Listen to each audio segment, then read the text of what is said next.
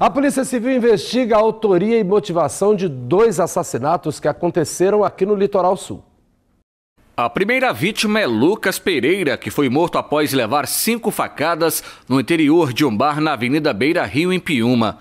O rapaz chegou a ser socorrido em uma motocicleta, mas caiu do veículo a caminho do hospital e teve que ser resgatado por uma ambulância. Por conta da gravidade dos ferimentos, ele foi transferido para o Hospital da Grande Vitória, mas não resistiu e veio a óbito. Nesta terça-feira, foi sepultado o corpo de Douglas Freitas de Oliveira, vítima de disparo de arma de fogo na madrugada de segunda-feira no bairro Namitalaiube, próximo às casas populares em Itapemirim. O rapaz foi socorrido por populares para a UPA de Marataízes, de onde foi transferido para a Santa Casa de Misericórdia de Cachoeiro de Itapemirim.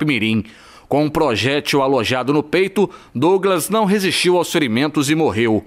Moradores relataram à polícia militar que ele teria se envolvido em uma briga e o autor do crime efetuou ao menos cinco disparos em direção ao rapaz.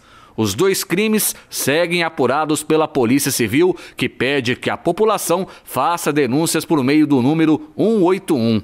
Não é preciso se identificar.